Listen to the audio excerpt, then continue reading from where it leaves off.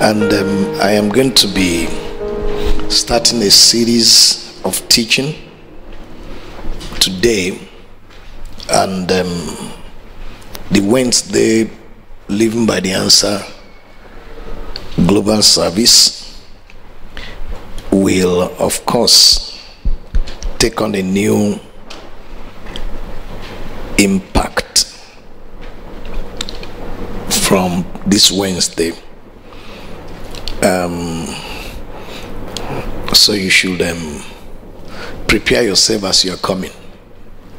It's going to be a time of feasting on the Word of God and not a time of excitement, a time of education the Holy Ghost by the Holy Spirit because it's preparing us for the days ahead. Is that okay? Remember on Sunday I said becoming what your future needs. That's the teaching I did on Sunday. I want you to get that message, everybody. Because the biggest problem of people is not that um, they waste time, is that they didn't become what they are supposed to become. The future will come. And when the future comes, you must be ready for that future. Is that okay? Praise God. So I'll be taking off on this teaching today and um, I've mentioned the subject a little bit, but the Holy Spirit wants me to go into details, just um, teaching on that subject. And the broad theme of it is going to be grace, faith, and love. Love, grace, and faith. So I will take them one by one and we see how far we go. So write down the leading statement for this um, series. If it is God. So you can say that'll be the that'll be the topic. If it is God. Is that okay? So you can check if it is God, right? But if it is God, it cannot be evil, it cannot be bad, it cannot be small, it cannot be late, and it cannot be slow. If it is God, so you can stop the topic on if it is God, all right? Then you continue, it cannot be evil, it cannot be bad, it cannot be small, it cannot be late, it cannot be slow. But most times, those are the questions that confuse people. If it is God, if God is there, why is this happening and things like that? But God is always there. God has not gone anywhere and is not going anywhere. Amen. So I want you to get that statement and frame it in the photo gallery of your soul. If it is God, it can't be evil so if something evil is happening, it is not God. If it is God, it can't be bad. If it, if something bad is happening, it's not God. It can be small. If something small is happening, and that is all that there is to it, it is not God. It can start small, but it's not going to remain small. Is that okay? So you must understand. So I'm going to take time to um, do this teaching for you it can be late. Many times people assume that, oh, God is late. There's no too late with God. You remember that story of um, Jairus and his two sisters? And Jairus, Lazarus, Lazarus that died. You remember that Lazarus that died? And then Mary said to, Martha said to Jesus, because Jesus met Martha first when he came, said, if you had been here, my brother would not have died. Meaning, you are too late. And Jesus said, well, didn't I tell you if you believe, you see the glory of God? And then when he met Mary, Mary also said, You know, if you had been here, my brother would not have died. But then he said, Where have you laid him? And then they brought him up. So, as far as God is concerned, time is immaterial. It is you and I that will deal with something that is too late or um, slow. Is that okay? Now, how do you now deal with this subject? is what we are going to be looking at as we go into this subject. Do you get that? Huh? Amen. So get that clear. If it is God, it cannot be lesser than what you can do yourself. It cannot be lesser than what the devil will do for his people. It cannot be lesser than what man can do for you. It will always be better if it is God. Did you get that?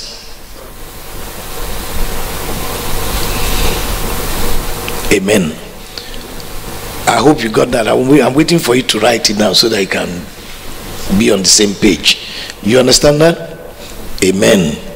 That is, if naturally you can do something by yourself without prayer, without doing things, and then if God joins you, it must be better than that. Is that okay? If the devil does something for somebody serving the devil so well, and this is what the devil had done for that person, and um, you say God did something for you, is lesser than that. No. I hope you got that clear. Now, when when the devil is doing something for people, or if the devil is going to do something for you, there are three conditions you must meet. Okay? So get that clear. If and if you get if you will be a child of God and you get involved in this uh, in the three conditions that the devil uses, number one, all right, okay. You have to sin. That's number one condition. You have to sin. Number two, you have to commit crime. Number three, you have to go into the occult.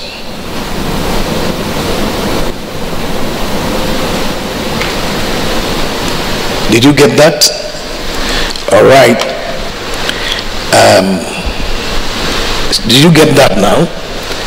If you're a child of God and you get involved in sin, crime, or the occult, then the devil will get involved with you. Is that okay?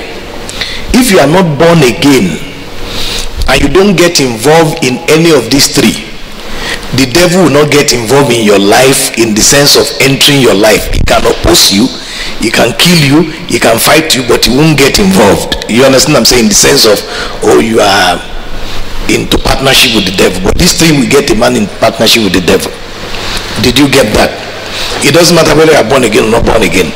Okay? So now go over the point that I've said. If it is God, it cannot be lesser than what the devil do for somebody that is living that is doing sin.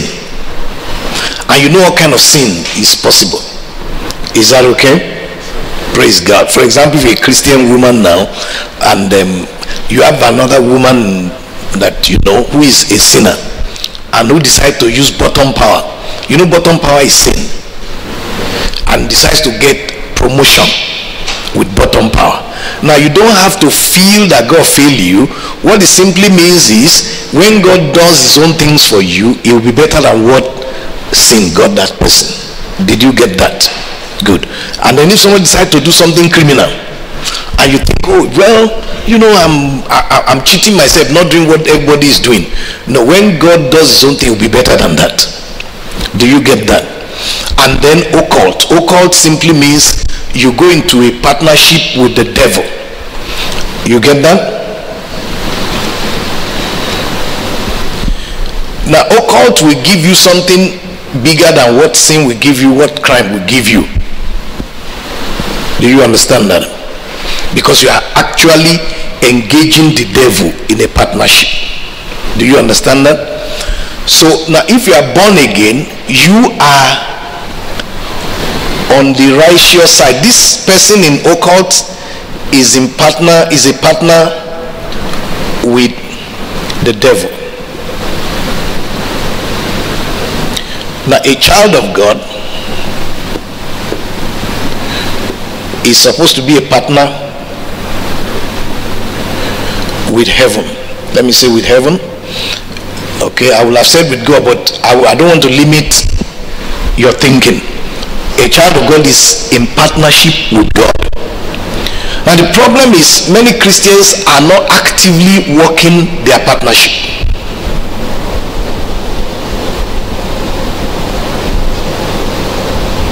Did you get what I'm saying?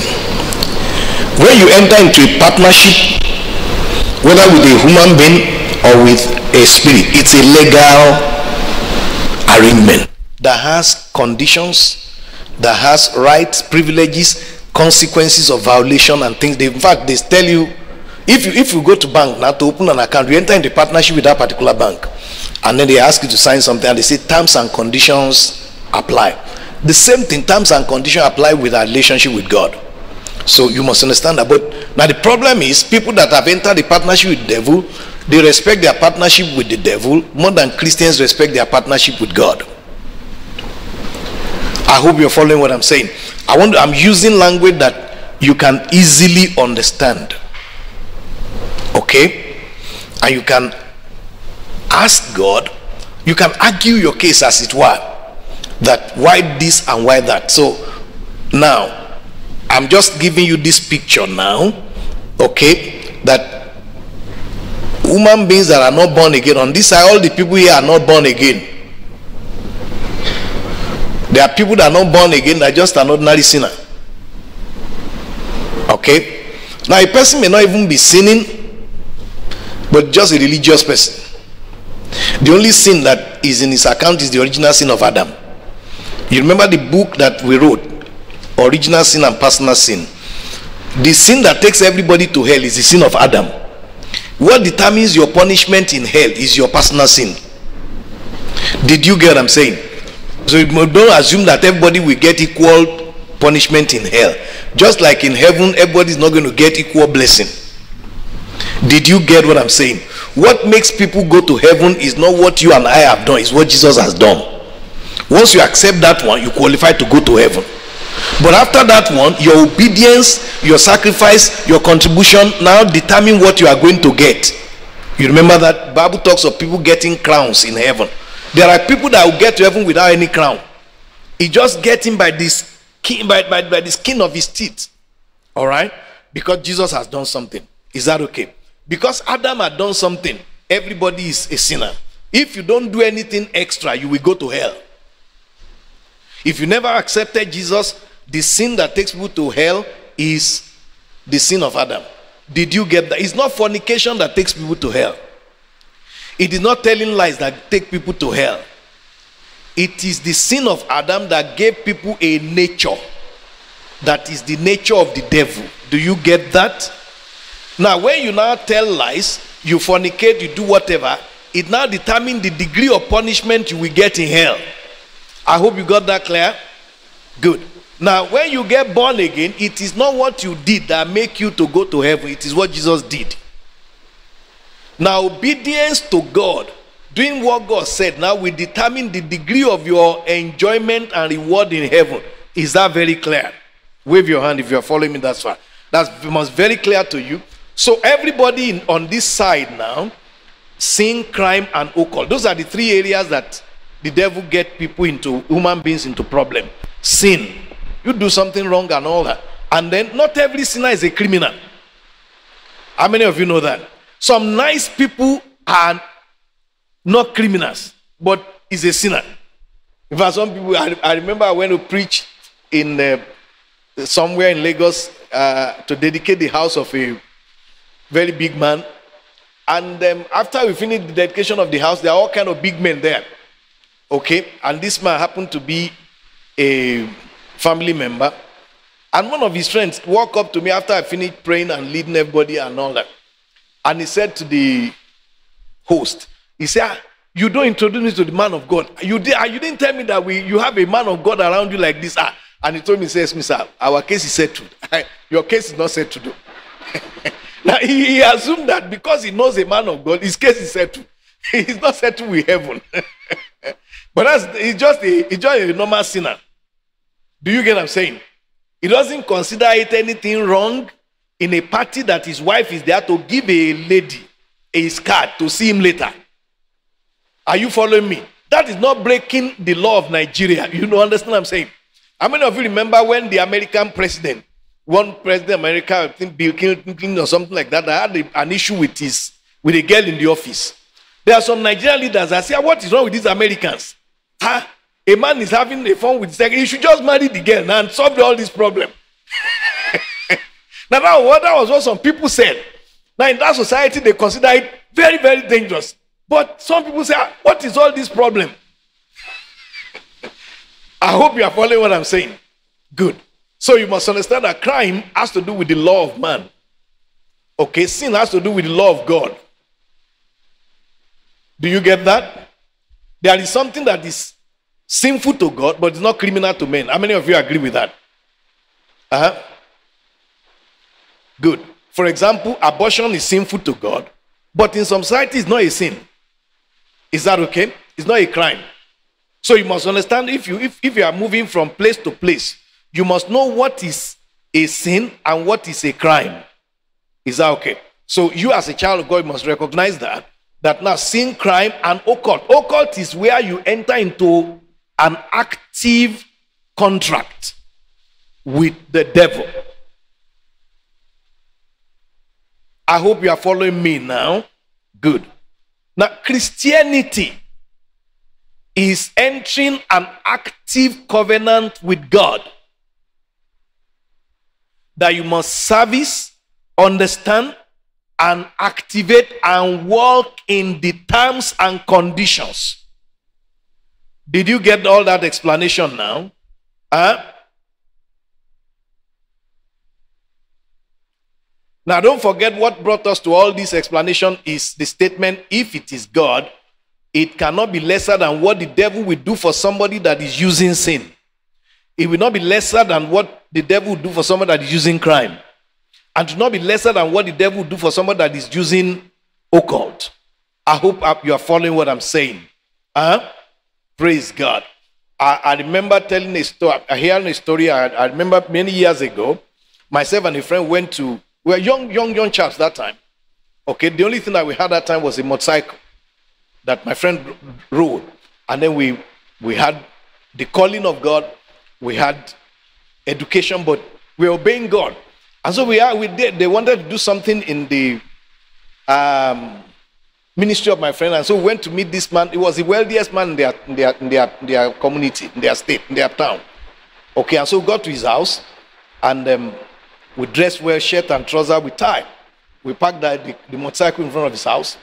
And then when the man came down and we presented our case, I wanted him to contribute money and things like that. And he listened and looked at us and looked and then said, Do you think that's why that's how I make my money and what I make my money? Just get out of my house. And we left.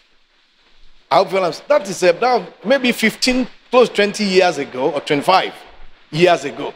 And then I had my friend was my friend was sharing testimony that the grandson of that man, the man had died and gone now, the grandson of that man needed to go to school in the school of my friend, and they were coming to appeal to him for school fees.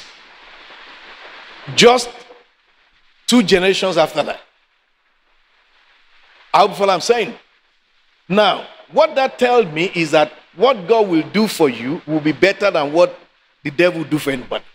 But at that time, it looked like no, no condition is permanent. Write it down, don't forget, good or bad. It is you that you must govern the changes that take place in your life. Change is the only permanent experience that you are going to have on this planet. But you must determine whether the changes is positive or negative. And positive change or negative change is a direct function of your participation. I hope you understand that there are few changes that will take place that you don't have anything to do about it. But when change comes, your response to change is under your control. Wave your hand if you have followed me. So that statement, you must let it sink into your spirit because most times it is because we don't have a grasp of truth settled in our heart that make us to question things. Do you get what I'm saying? Um, bro, you come. You led the song today. I, I, I, you, you, you, you were one leading worship. All right, good. 2 plus 2 is equal to 5. I said 5. No, you are behind schedule. New generation now it's, it's 5. Huh? No. Pastor Ibukun, come. Don't go yet. I said 2 plus 2 is equal to 5. It's 4, sir. Now you're analog. 2 plus 2 is equal to 5. It's 4, sir. No. It's 5. It's 4, sir. Are you sure? Yes, I said it's five. It's four, sir. Now listen to what I'm doing here. Why are they why are they disagreeing? Because two plus two is equal to four is a truth that is established in their life. Are you listening to me? Question is if it is God, it will be better than what the devil does for his people. Is it as much of a truth inside you as 2 plus 2 is equal to 4? Until it becomes like that, you would think that the devil has something better than what God has. You would think that sin has something better than what God has. You would think that crime has something better than what God has. And because of that, you won't pay the price to experience the reward of truth. That's why some people felt tempted. I've never felt tempted. You can't come and tell me now to come and do juju for anything because I already know something better than that. There's nothing you're going to use to tempt me to go and commit sin or crime. Why? Because I already have something that is working better than that. I hope you follow what I'm saying. And I know that I know that I know that it is better. God will do better. But most Christians don't know that as a truth. They hear it in church on Sunday, excited, they clap, and they go back to their truth. Because what is truth in your life is what will control your response and behavior.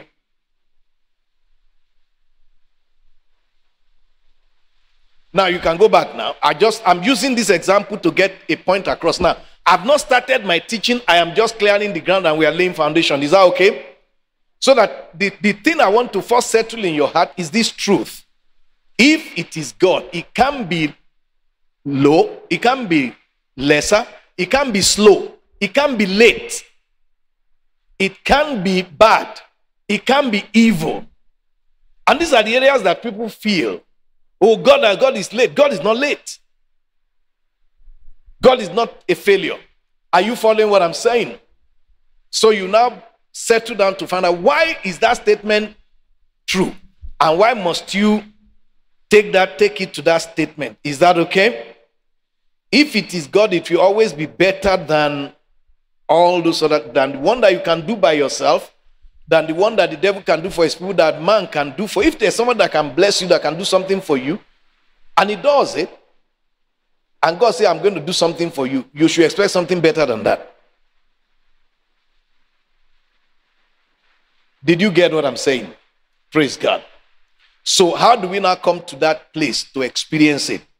That's what we're going into the teaching for. But that's the truth that this teaching is built on. Did you get what I'm saying? Praise God.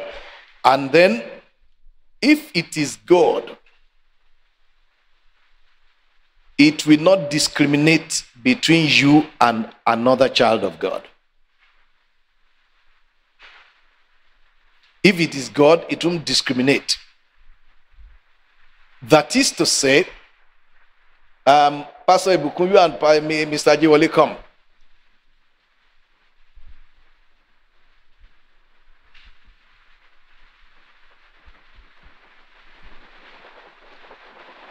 So if I gave him this, I gave you, and you are rejoicing, and he is angry. Both of them are children of God.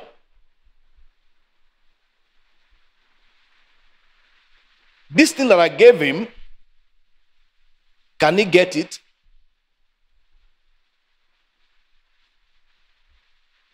Do you understand what I'm saying? Because these are truths that I want to establish for you. Okay?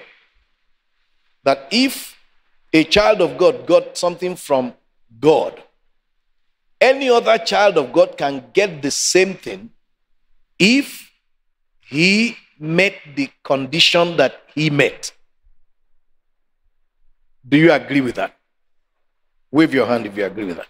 All right, good. So it's not as if God gives, do something for one child of God and say, No, no, I'm not going to do it for you.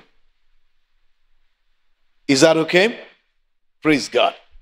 So, why we come to church is to understand this truth. Did you get that? So, you don't have to pray and say, God, you don't love me.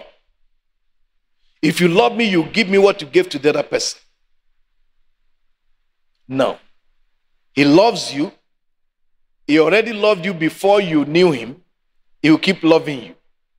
But then your understanding is your problem, not the love of God. Okay? All right, so see now. So now I'm going to the next point now, and this is the foundation of that statement. Why is that statement that I made? Why is it so important? If it is God that is doing it, this is the mark, the mark, the mark of it. Okay. Number one is because, everybody say because. Number one, love planned it. Number two, grace brings it. Number three, faith receives it.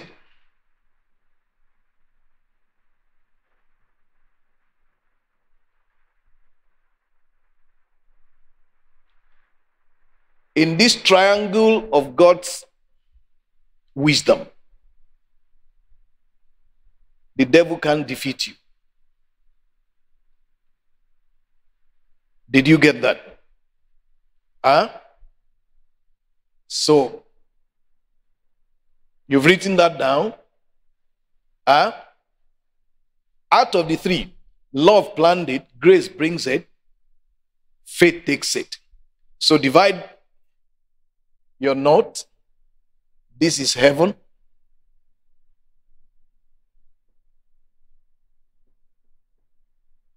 This is the earth. This is God. This is you.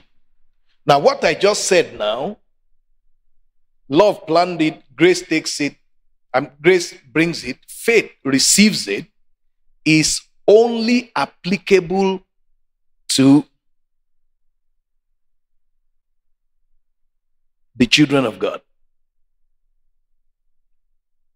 Is that okay?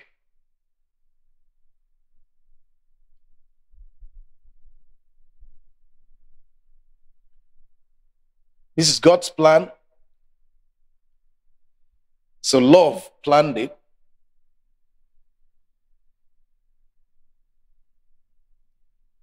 That's in heaven. Grace brings it.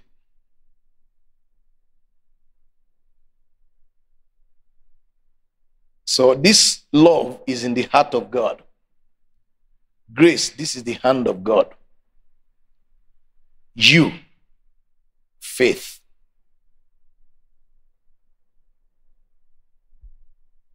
Is that okay? Praise God.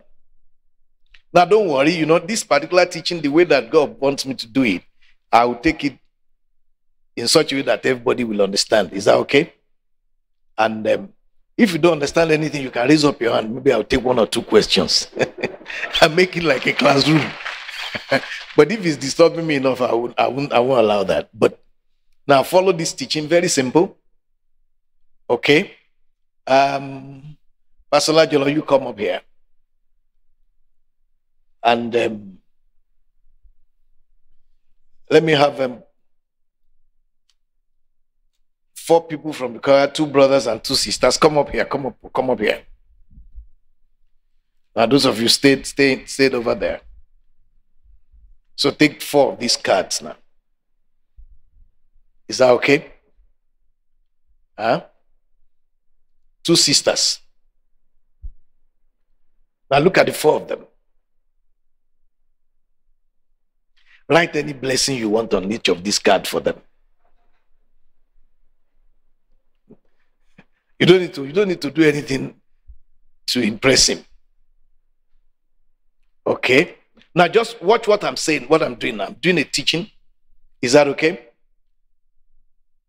The reason why, if it is God, it can't be bad, it can't be evil, it can't be this or whatever, is because love planned it. That love is in the heart of God. Okay? Good. It's in his heart. The devil can't get in the heart of God. You know that? Huh? And he made a decision.